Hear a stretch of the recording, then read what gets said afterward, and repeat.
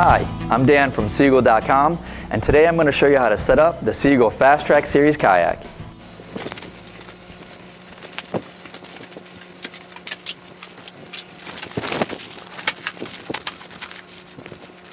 Your Fast Track has four recessed fill valves located at the front of your kayak. One for each chamber, one for the floor, and one for the inflatable external keel. To prep these valves for inflation, simply press down on the center valve stem and turn it a quarter turn to the left until it springs into the upright position. Repeat this with the other valves.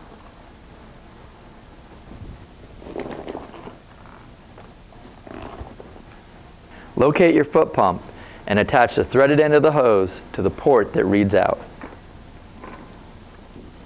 In your orange repair kit, you're going to find a gray valve adapter. Take the rib end of that valve adapter and insert it into the other end of the hose. Now insert the valve adapter into the valve and twist it to the right until it's fully seated. I recommend starting with the floor first. Prior to inflation, be sure to check the floor for proper placement. So let's start at the rear or the stern of the fast track. Check the location of the rear drain valves in relation to the cutout on the drop stitch floor. Make sure that they are properly aligned. Also, be sure that your floor is well tucked underneath the right and left chambers. This is going to affect what's called the chine. It's a specific design for the fast track that increases the trackability of the kayak. The proper working pressure of the fast track is 3.2 psi. Now, the foot pump included in your kit has been specifically designed to max out at 3.2 psi.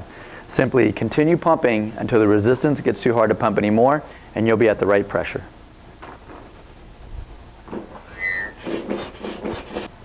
Now inflate your chambers to 75% at this time. This will allow for any last minute minor adjustments and also help with the ease of installing the optional kayak motor mount. Sea Eagle offers a line of electric pumps to make inflation even easier. Remember to always use only a Sea Eagle recommended pump and never an air compressor. The BTP electric pump will automatically shut off when the desired pressure setting is achieved. Simply set it, press it, and forget it. 1 psi will fill your boat approximately 3 quarters of the way, or 75%.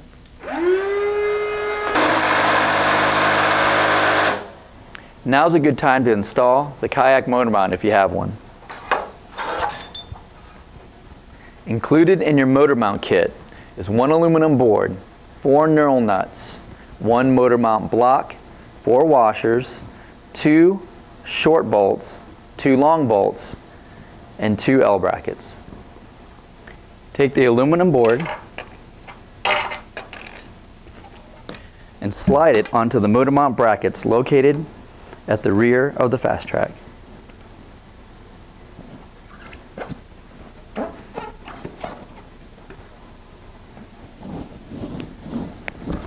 Now here's a little tip that you might find useful. Once you've got the aluminum board started onto the motor mount brackets, if you take your fast track and turn it on its side and just lean on the back end of the fast track, you'll watch that this motor mount will slide easily into place. Next, locate your short bolts.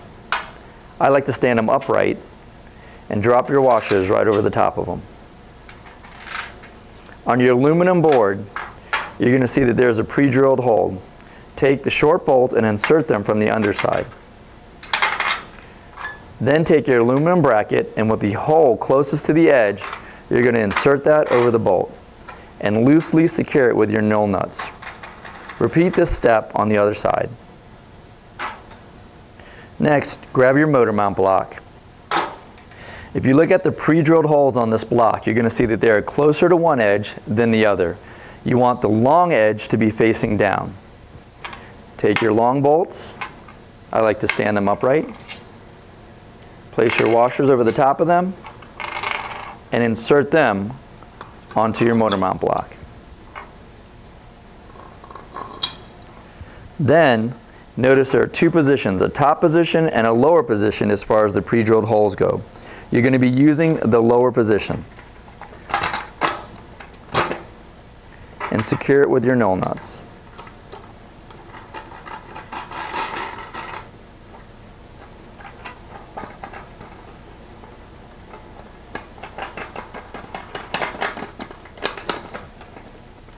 Now be sure that your knurl nuts are securely tightened.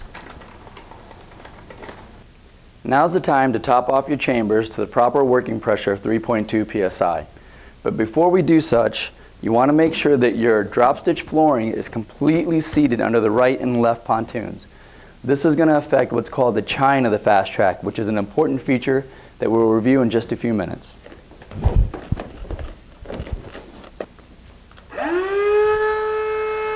Now if you have the deluxe inflatable kayak seat or seats, included with each seat are going to be two valve bodies.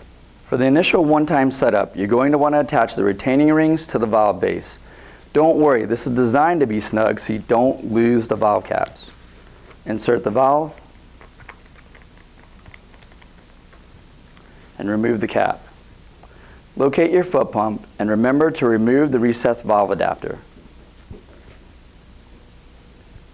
Locate the triple adapter and insert the wide mouth valve into the hose. Insert that into your valve and inflate your seat until it's firm. Place your inflated seats into your kayak. Secure it to the D-rings.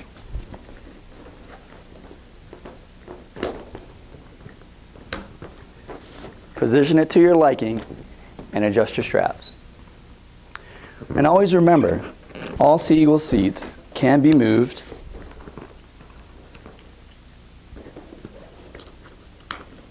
and repositioned to your liking. Now if you have the tall back seats, you can place them in your kayak now. Attach the front straps to the front D-rings. And the rear straps to the rear D-ring. Adjust it to your liking and repeat this step with any additional seats. Now to assemble your four-part paddle.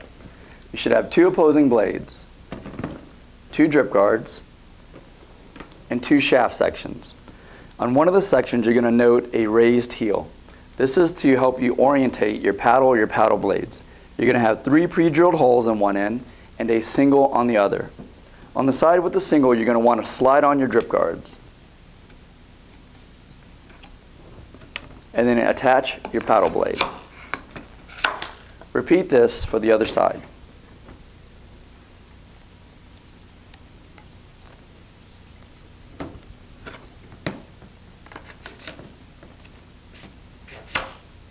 Now to attach the two halves.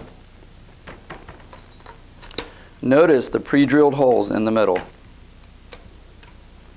These are designed for feathering.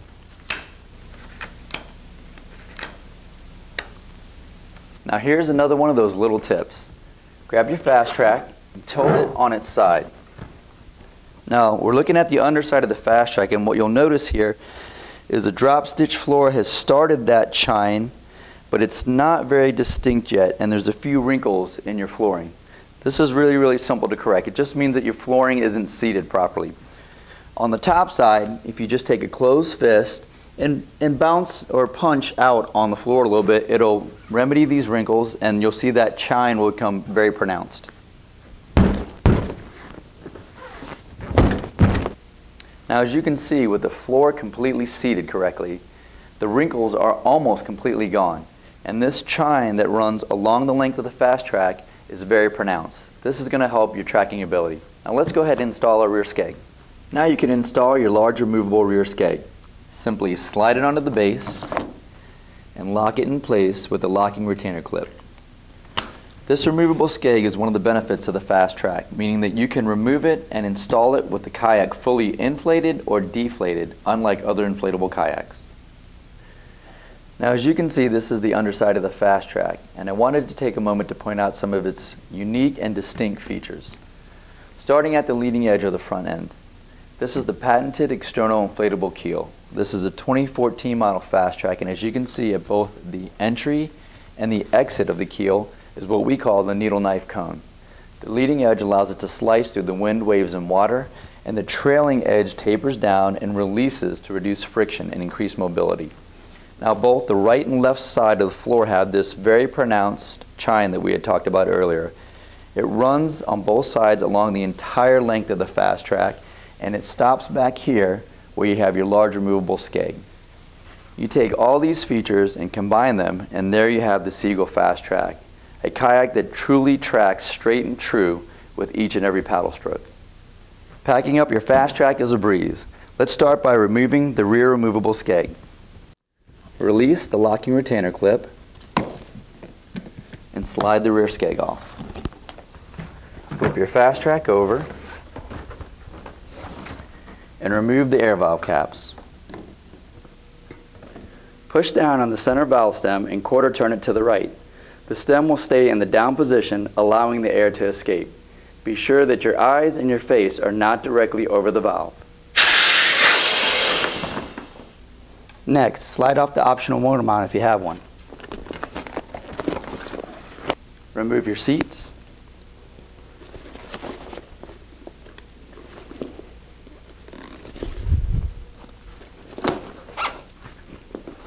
Now begin rolling up your fast track from the back to the front towards the air valves, pushing all the air out as you roll it along. One important tip is when you get to your skeg base, make sure that it remains flat the entire time.